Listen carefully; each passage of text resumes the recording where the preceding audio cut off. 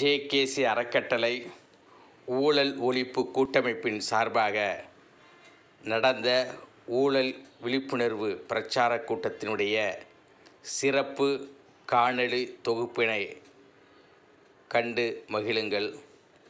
ஊழலை ஒழிப்போம். சமதர்ம சமுதாயத்தை அமைக்க வாருங்கள். நன்றி. உள்ளது.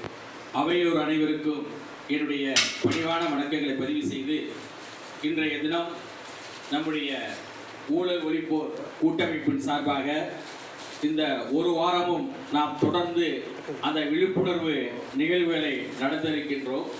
அதன் அடிப்படையிலே இன்றைய நிகழ்வுக்கு தலைமையேற்றிருக்கின்ற வழக்கறிஞர் சி பி ரமேஷ் ஐயா அவர்களுக்கும் முன்னிலை வகித்த பேராசர் ரவிசேகர் அவர்களுக்கும் சிறப்பு விருந்தினராக கலந்து கொண்ட அருமை நண்பர் சித்தர் டாக்டர் கே. சுப்யா அவர்களுக்கும் வாழ்த்துறை வழங்கிய அண்ணன் ராஜ் ராஜ் ஜான் ராஜ்குமார் அவர்களுக்கும் மற்றும் பேராசிரியர் அருள் அவர்களுக்கும் இங்கே பொன்னாடை போட்டு சிறப்பு செய்த டாக்டர் பி. ரவி முத்துராஜ் அவர்களுக்கும் மற்றும் இங்கே குழுமியிருக்கின்ற நண்பர்கள் உறவினர்கள் அனைவருக்கும் என்னுடைய பணிவான வணக்கங்களை பதிவு செய்து இன்றைய தினம் தமிழகத்தில் எத்தனையோ அமைப்புகள் எத்தனையோ சமூக ஆர்வலர்கள் இருந்தாலும் நம்முடைய அரைப்பை நண்பர் ஜான் ராஜ்குமார் அவர்கள் தொடர்ந்து சமுதாய நலத்திட்டங்களையும் அன்னை தெரசா பிறந்தநாள் விழாவையும் நம்முடைய அணு விஞ்ஞானி அப்துல் கலாம் அவருடைய பிறந்தநாள் விழாவினையும் பல்வேறு சமூக நல மேம்பாட்டு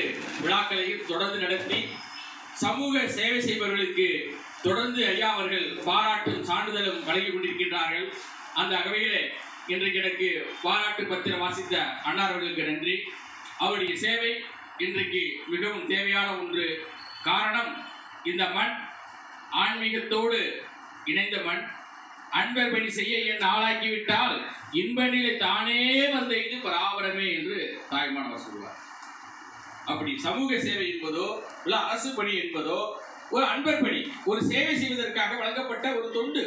ஆனால் இன்றைக்கு சமூக கட்டமைப்பிலே அதுவும் தொடர்ச்சியாக சுதந்திரம் பெற்றதற்கு பிறகு ஒரு காலகட்டத்தில் சுதந்திரத்துக்கு முன்பாக வெறும் சோப்பு சீப்பு கண்ணாடி விற்க வந்த ஆங்கிலேயர்கள் இந்த நாட்டுடைய வளங்களை எல்லாம் சுரண்டி கொண்டு போகிறார்கள் என்று சமுதாய நலவிரும்பிகள் மண்ணின் மைந்தர்கள் பற்றாளர்கள் அவர்களெல்லாம் இணைந்து ஒரு மிகப்பெரிய ஒரு சுதந்திர போராட்டத்தை நடத்தி அந்த அந்நியனுடைய ஆதிக்கத்தில் இருந்து நமக்கெல்லாம் விடுதலை பெற்று கொடுத்தார்கள்.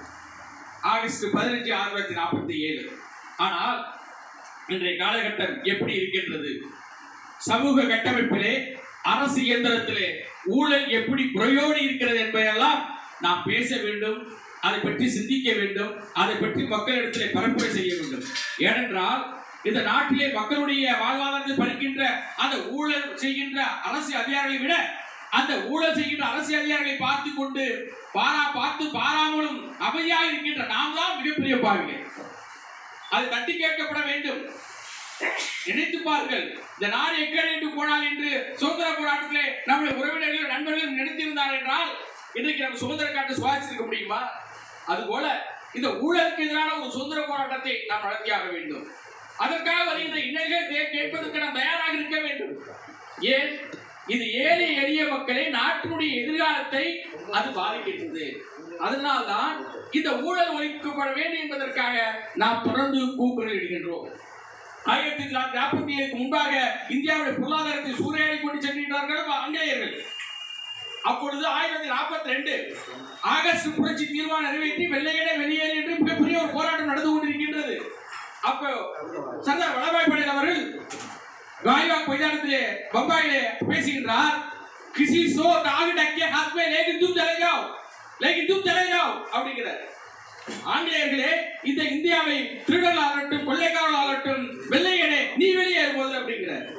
அப்பொழுது ரிச்சர்ட் சர்ச்சில் அவர்கள் இங்கிலாந்து பாராளுமன்ற பேசுகிற போது இந்தியாவிலே மிகப்பெரிய போராட்டம் நடக்கிறது. நாம் இந்தியர்களுக்கு சுதந்திரப்படுத்தி விடலாமா என்று அந்த பார்லிமெண்ட் ஒரு வேலை வருகின்றது அப்போது வின்சர் சர்ச்சில் பேசுகின்றார். இந்தியாவுக்கு சுதந்திரத்தை கொடுத்துடலாம். ஆனால் கொடுத்தால் முதல் ஐம்பது ஆண்டுகளிலே அந்த நாட்டு வளர வேண்டும் என்று நாம் பிரார்த்தனை செய்ய வேண்டும். தமிழகத்திலும் இந்திய அளவிலும் ஊழல் ஒழிக்கப்பட வேண்டும் என்று நாம் உறுதியேற்க வேண்டும். இன்றைக்கு கார்ப்பரேட் கம்பெனி மூலமாக நடக்கின்ற ஊழலில் எண்ணற்ற ஊழல்கள். ஆயிரம் ரூபாய் ஆட்டுலோர் வாங்கின விவசாயிக்கு கொடுக்கக்கூடிய தண்டனையை கார்பரேட் கம்பெனி ஐயாயிரம் கோடிக்கு போனா கூட கேட்கறதுக்கு நாதி இல்லை. அவர் ரொம்ப அருமையாக செய்யறான். அதாவது ஒரு கம்பெனியை வந்து நலிவடைஞ்ச மாதிரி டாக்குமெண்ட் கிரியேட் பண்றான். அந்த லோனை வந்து கேன்சல் பண்றான். ரத்துன்னு சொல்றான். அதே கம்பெனி ஆறு மாசம் கழிச்சு இன்னொரு கம்பெனி பலாயிரம் கோடி ரூபாய் கொடுத்து வாங்குறான். அதுக்கு அதே பேங்க்ல லோன் கொடுக்குறான். எந்த கம்பெனி வந்து திவாலா ஆச்சுன்னு அந்த கடன் தள்ளுபடி பண்ணானோ அதே வங்கி அதே கம்பெனிக்கு இன்னொரு கம்பெனிக்கு வாங்கும்போது இன்னும் பத்தாயிரம் ரூபாய் கடன் கொடுக்குறான். அப்ப எப்படி எல்லாம் இந்த வங்கித்துறையை ஏமாத்தி? அதனாலதான் நமக்கு வந்து நாற்பது ரூபாய் விற்கிற பெட்ரோல் இன்னைக்கு நூத்தி பத்து ரூபாய். நீ நினைக்கலாம்.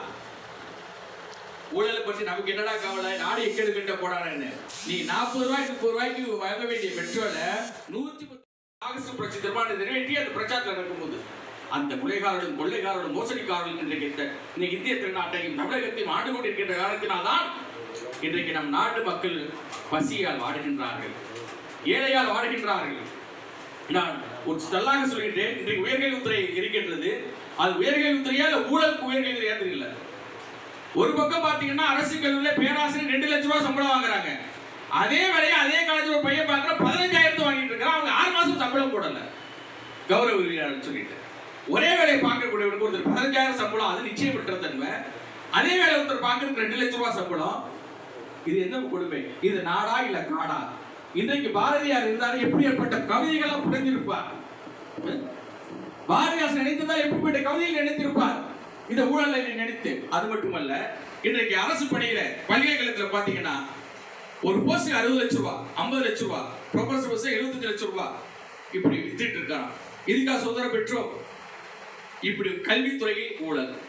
பொதுப்பணித்துறையில 50% பர்சன்டேஜ் ஃபிஃப்டி பர்சன்டேஜ் என்ன டெண்டர் கொடுத்தாலும் சரி ஐம்பது சதவீதம் யார் கொடுக்குறானோ அவன் கான்ட்ராக்ட் அந்த பணி எப்படி இருக்குன்னு பாருங்க. ஏன்னா இந்த தமிழகத்துல கரிகால் சோழர் பெருவளத்தான ஒருத்தர் தான் குடகுமலையில இருந்து பூம்புகார் வழி காவிரிக்கு கரை கட்டினா அந்த கரை இன்றைக்கு அப்படியே பாதுகாப்பா இருக்கு.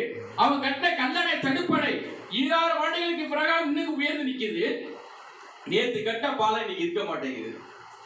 இப்படிப்பட்ட ஒரு பாரம்பரியமான ஒரு சமுதாயத்தில் பிறந்தவர்கள் இன்றைக்கு ஊழலுக்கு உரையோடி இன்றைக்கு கட்டுமான துறையில் பொதுப்பணி துறையில் அனைற்றிலும் ஊழலோ ஊழல். நீங்க காவிரி பாலத்தை பாருங்க. அதை கட்டையை இடிக்கிறான் திருப்பி வைக்கிறான் பேக்கிறான் எவ்வளவு மோசமா இருக்கு. காவிரி பாலத்தை கடந்து அதுக்கப்புறம் நம்ம பாலக்கரை வர முடியுதா? இங்க நடைபாதைன்னு ஒண்ணு இருக்குங்க.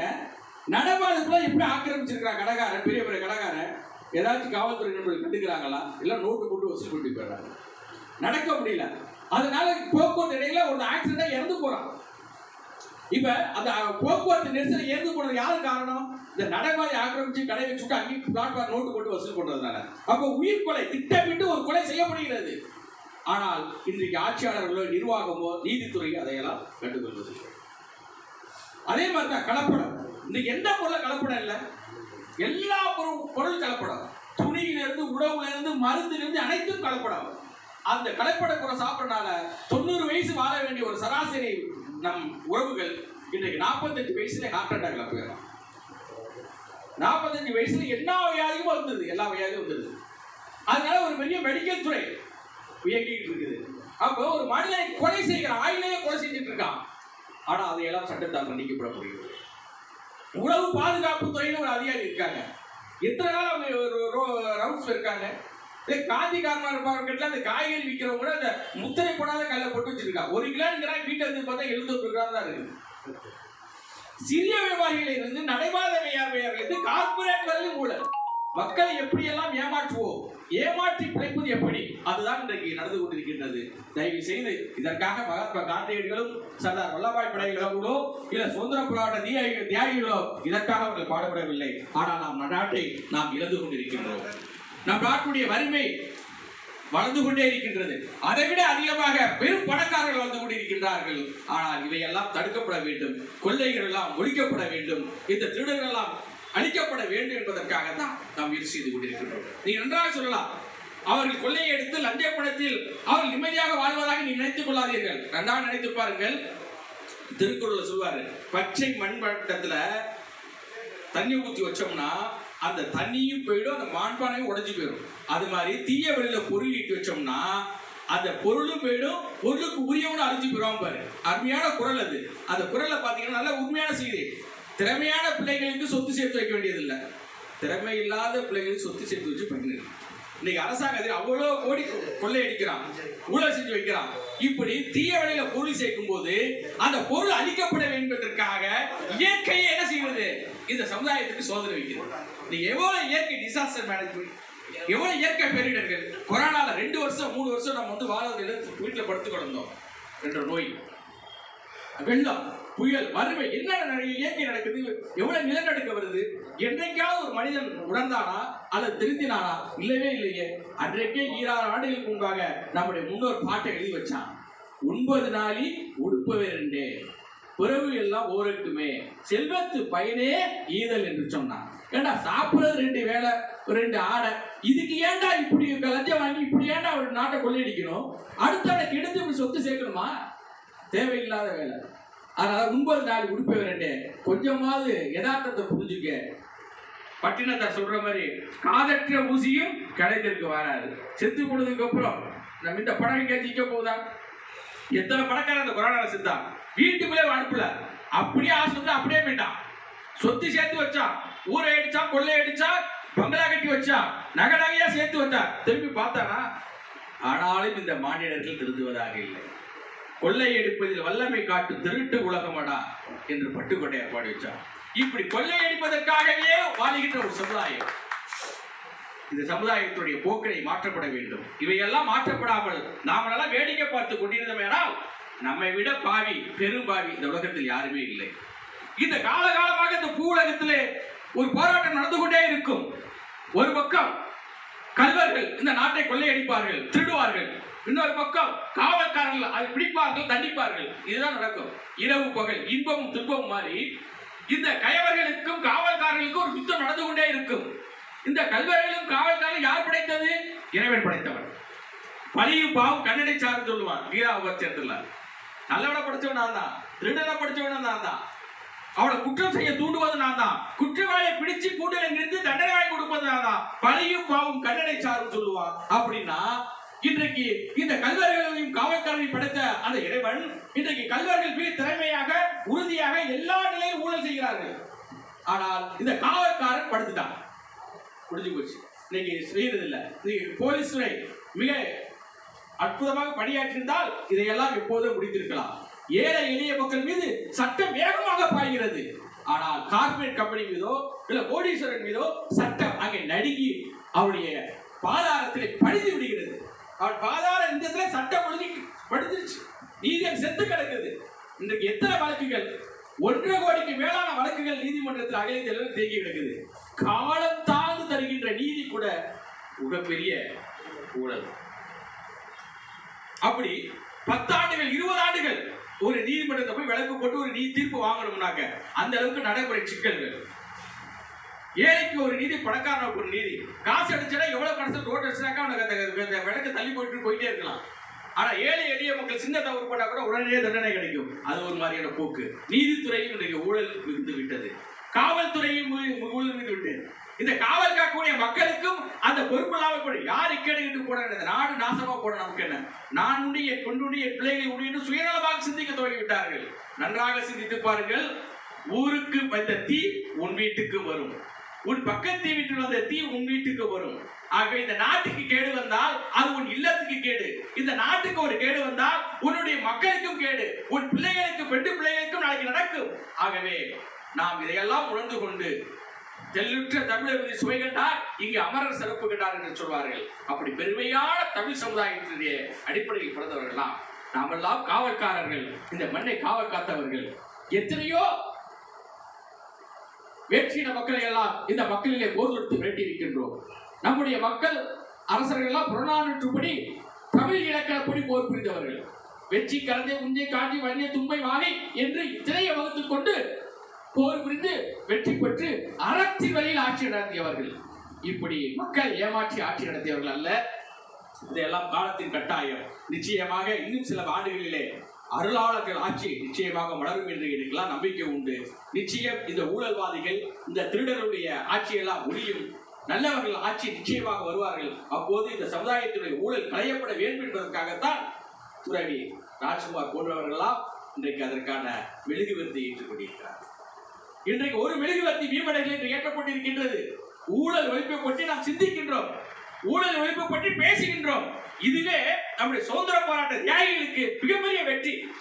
அவர் நம்ம நம்பிதான் அந்த நாட்டு சுதந்திரம் கொடுத்தார்கள். இந்த மக்களுக்கு ஏழை எளிய மக்களுக்கு அனைத்து கிடைக்கும் என்று.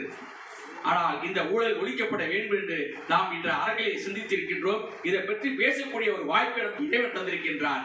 அது இறைவன் எந்த பெயராக விட்டார் இருக்கட்டும். அது இந்துவாக இருக்கட்டும் முஸ்லீமாக இருக்கட்டும் இல்லை கிறிஸ்தவராக இருக்கட்டும் எந்த மதமாக இருக்கட்டும். எல்லா மதமும் போதிப்பது அன்புதான். எல்லா மதம் வலியுறுத்துவது அறத்தை தான் எல்லா மதம் வலியுறுத்துவது ஏழைகளுக்கு தொண்டு செய்ய வேண்டும் என்பதுதான். ஆனால் அவற்றையெல்லாம் கடந்து விட்டு நாம் போலியாக இன்றைக்கு நடித்துக் கொண்டிருக்கின்றோம். நான் காலாப்பிடாரி என்று திருக்காட்டுப்பள்ளியில் ஒரு கோயிலை கட்டிட்டு இருக்கேன் இதுவரை ஒரு அதிகாரி கூட ஒரு விஷயம் லஞ்சம் கொடுத்து கிடையாது சில டாக்குமெண்ட்ஸ் கிரியேஷனுக்காக போயிட்டு இருக்கிறப்ப சாமிகிட்ட கேட்பேன். என்னுடைய மன்னர் என்னுடைய பேரரசர் அப்படிதான் இந்த கோயிலை கட்டினார் அப்படிதான் வழிபட்டார். அப்படி நேர்மையா கோயில் கட்டுறதா இருந்தா அப்படி நில்லு. இல்லைன்னா இறங்கிடு இந்த கோயிலை கட்ட வேணாம் அப்படிங்கும் ஏன்னா பல பேரும் முயற்சி பண்ணி கட்ட முடியல. இன்னைக்கு ஆயிரத்தி லிங்கங்களை மீட்பதற்கான பணியை தொடங்கிட்டு இருக்கோம். ஆன்மீக போர். அவ்வளவு ஒரு ஒரு டிசிப்ளின் லாண்ட் ஆர்டர் ஒவ்வொரு மாதமும் அந்த சாமிகிட்ட போய் வரவு சொல்ல கணக்கு நான் படிக்கிறப்ப. ஏன்னா அப்படிதான் நடந்திருக்காங்க நம்ம முன்னோர்கள். தெய்வத்தின் பேர்ல கூட ஏமாற்றம் நடக்கக்கூடாது என்பதற்காக அதையும் இரண்டு மாதங்களாக நடைமுறைப்படுத்தியிருக்கின்றேன். எந்த ஒரு அதிகாரிகளுக்கும் ஒரு பிசல் அதிகம் ஆனாலும் நாம் இதை பற்றி பேச வேண்டும் மக்களிடத்திலே பரப்புரை செய்ய வேண்டும். நல்லார் ஒருவர் முன்னே அவர் பொருட்டு எல்லோருக்கும் பெய்யுமா மலைகிற மாதிரி. நல்லவர்கள் நீங்கள் எல்லாம் இதை சிந்திப்பது கேட்பதனால் எதிர்காலத்தில் நிச்சயமாக ஒரு மாற்றம் மலரும் என்று இறைவனை பிரார்த்தனை செய்து இந்த விழாவிற்கு ஏற்பாடு செய்திருந்த ஊழல் ஒழிப்பு கூட்டமைப்பு நிர்வாகிகளுக்கும் மாநில நிர்வாகிகளுக்கும் மாவட்ட நிர்வாகிகளுக்கும் என்னுடைய நன்றியையும் வணக்கத்தையும் பதிவு செய்து எல்லாம் வல்ல இறைவன் நம்மை காக்க வேண்டும்.